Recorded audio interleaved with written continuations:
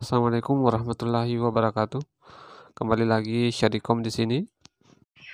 Apa kabarnya teman-teman sekalian? Semoga sehat selalu dan dalam lindungan Allah Subhanahu wa taala. Dalam tutorial kali ini saya akan memberikan eh, cara mengembalikan file yang hilang di dalam flash disk atau di dalam drive D atau drive C ya. Untuk kasus kali ini saya file yang saya miliki di drive D uh, hilang ya. Tiba-tiba hilang penyebabnya saya tidak tahu juga ya. Jadi ini saya akan kembalikan uh, saya akan coba kembalikan ya file-file yang ada di drive D. Filenya itu ada di bagian bawah ya tapi ini tidak ada file-filenya ya. File berupa gambar Word PDF di sini hanya ada folder-folder ya. Biasanya di sini full ya ke bawah ya. Ada di bawahnya ini ya. Penampakan sebelum terhapus eh, file-file ini seperti ini ya sobat. File-file yang akan kita kembalikan. Ya seperti ini ya. Ini file-file yang yang tersave sendiri ya yang biasa saya kerjakan dan tersave di sini untuk memudahkan pekerjaannya di sini saya save semua ya. Tapi ini hilang dengan sendirinya ya. Ah, saya juga tidak tahu apa penyebabnya sehingga hilang. Di sini kita akan mencoba untuk mengembalikannya ya sobat. Oke untuk cara mengembalikannya simak video berikutnya. Cek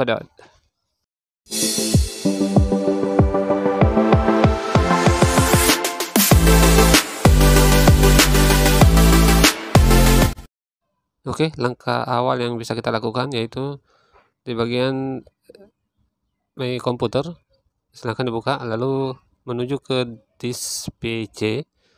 Disk PC ini kita klik kanan ya, lalu klik Properties.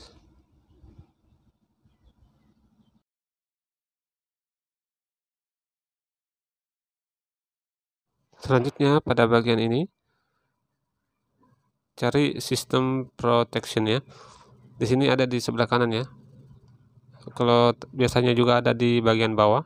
Jadi geser ke atas saja ya. Kita eh, kalau mau mencari ya. Di sini di sini ada sistem protection.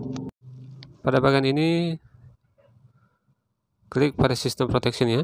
Di tab di sini ada local disk C dan local disk D. Ini tandanya off ya. Semuanya off. Jadi ini kita akan jadikan on ya untuk memperbesar kapasitas dari ruang dari e, drive C atau drive D. Ini gunanya untuk e, mengembalikan file yang tersembunyi.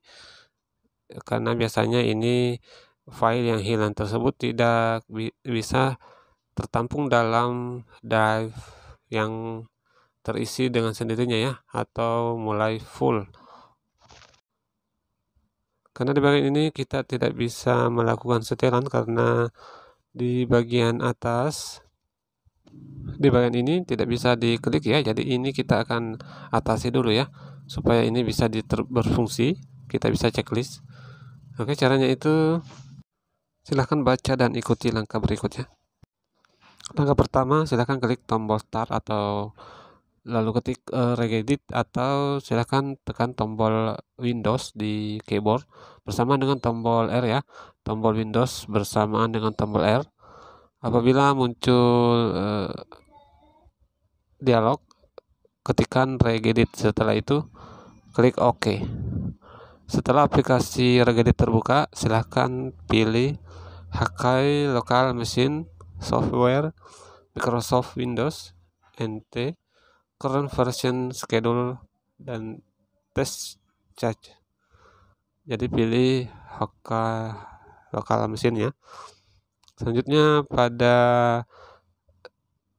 HK lokal mesin yang terbuka silahkan cari test charge.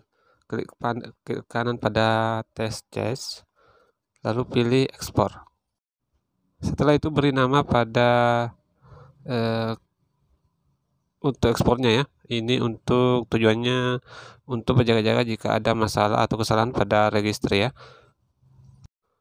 Jadi ini untuk di backup ya. Untuk di backup jadi nanti jika ada kesalahan bisa dikembalikan.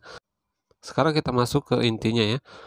Pada HK lokal mesin pilih software pilih Microsoft pilih Windows NT current version lalu pilih schedule dari schedule kita pilih test charge pilih tree pilih Microsoft pilih Windows. Tempatkan kursor pada folder Windows ya. Lalu klik kanan lalu delete lalu yes. Oke? Sekarang kita kembali ya. Kita akan coba ya apakah sudah bisa diklik yang bagian tadi ya. Sistem protection ya di sini kita akan mulai ulang ya. Klik kanan di TSPC lalu klik properties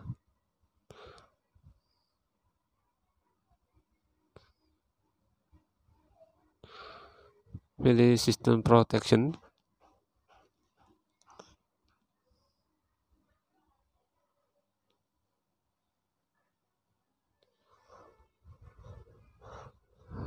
Kita pilih drive nya ya. Sini kita pilih drive drive C ya pilih configuration.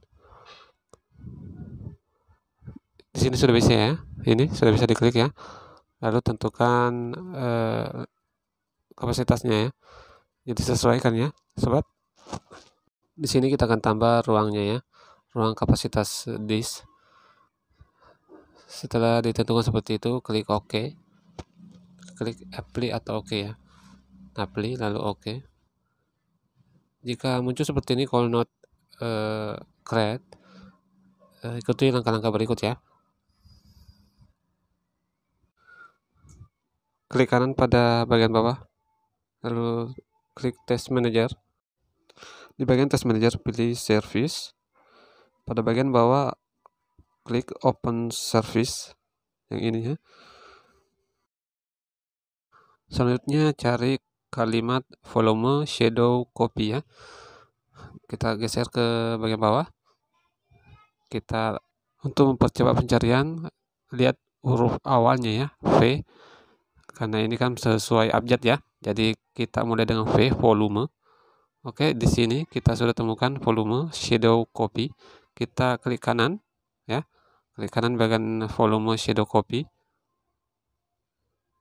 Selanjutnya klik properties. Selanjutnya kita tunggu dulu ya kita tunggu muncul dialog untuk pilihannya seperti ini ya. Pada bagian startup tipe klik di bagian di sini ya.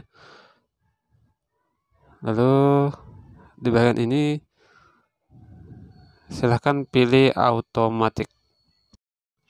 Setelah pilih otomatis silahkan pilih apply lalu klik OK setelah itu silahkan close ya.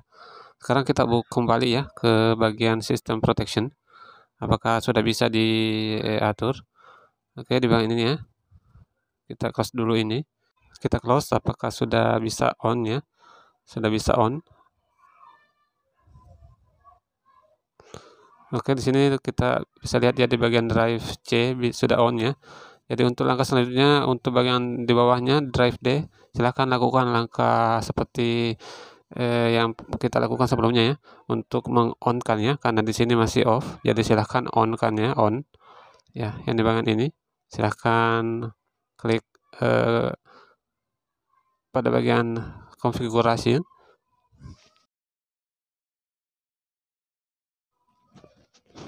lalu kita klik pada turn off system protection kita tandai di sini ya. Lalu tentukan eh, maksimal maksimal volumenya ya. Klik apply lalu klik OK. Sini sudah on juga ya. C dan D sudah uh, on. Oke setelah itu kita close ya. Oke di sini karena sistem protectionnya protection ini sudah kita atur makanya kita uh, ambil kesempatan ini untuk membuat uh, protection untuk backup ya. Jadi nanti jika ada kesalahan bisa kita restore ya untuk mengembalikan ke sentikan sentikan awalnya. Jadi di sini akan kita buat eh, file untuk tempat backup ya. Caranya klik pada disk PC klik properties.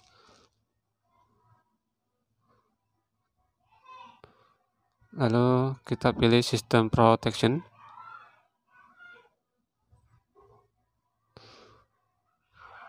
pada bagian system protection klik pada bagian D. Kita akan buat di sini ya di drive D. Lalu pilih create.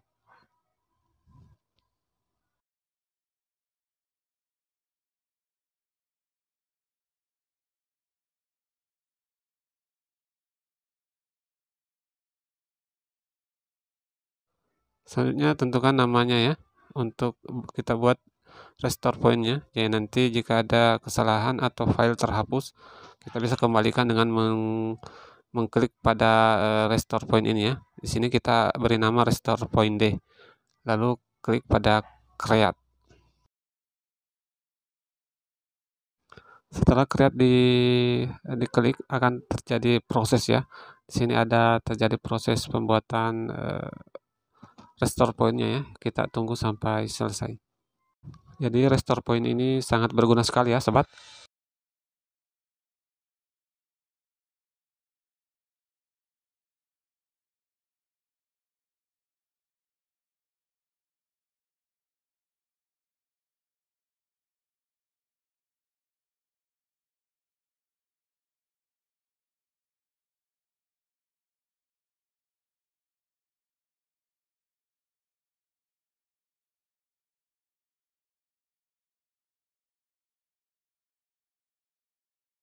Oke, jika muncul seperti ini, the restore point has successful, berarti restore pointnya sudah berhasil dibuat ya, sobat.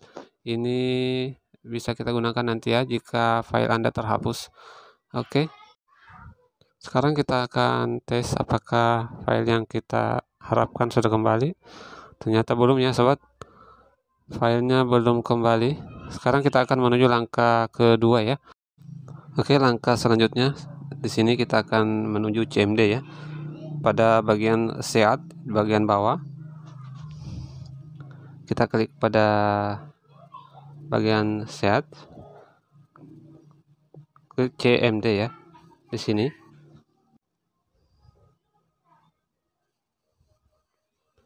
Karena di sini sudah saya buka ya. Di sini klik command prompt CMD lalu pilih run administrator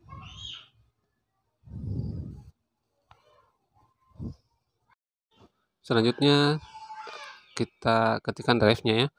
Jika Anda punya drive flash disk drive F, ketik di sini drive F ya.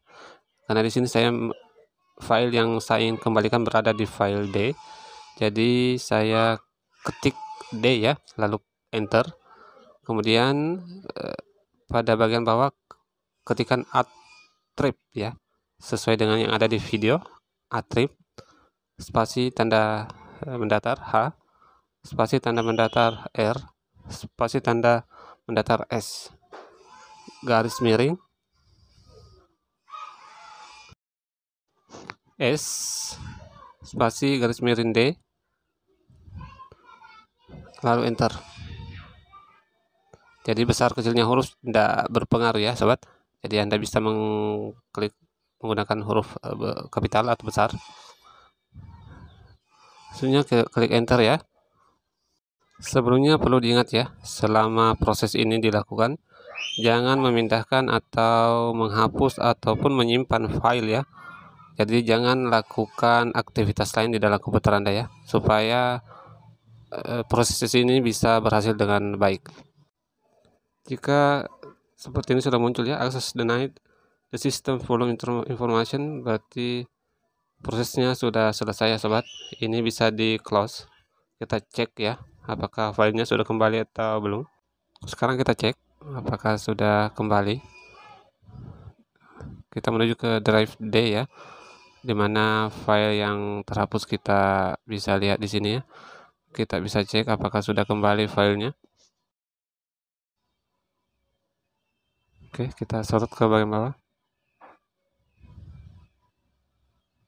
Oke, di sini sudah kembali ya, sobat. Alhamdulillah di sini filenya sudah kembali ya. ini semua file-file penting yang saya save di bagian ini ya di bagian drive D jadi cara kedua yang tadi ini yang kita gunakannya ini prosesnya cepat ya dengan menggunakan command prompt cmd atau cmd ya jadi jika anda menginginkan file anda kembali yang terhapus silahkan lakukan langkah-langkah seperti yang saya tunjukkan di video ini ya sobat.